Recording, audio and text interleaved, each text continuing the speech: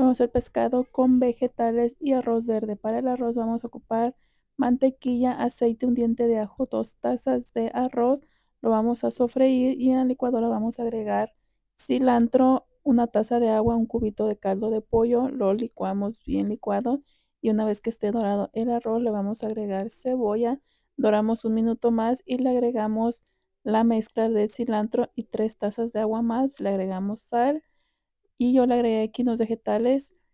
Eso es opcional, lo tapamos a fuego bien bajito y mientras tanto vamos a cortar cebolla, jitomate, chile y bell pepper de colores.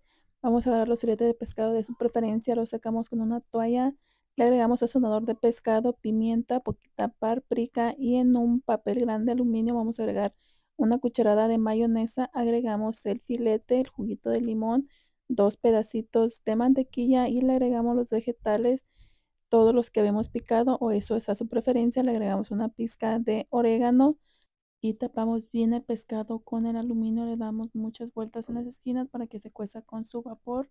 Y en un sartén caliente o comal vamos a agregar el pescado. Lo dejamos 5 minutos a fuego bien bajito. Lo volteamos y mientras tanto al mismo tiempo ya está el arroz hecho. Lo sacamos del papel, lo agregamos en el plato, le agregamos arroz. Yo lo acompañé con ensalada pero usted lo puede acompañar con lo que prefiera.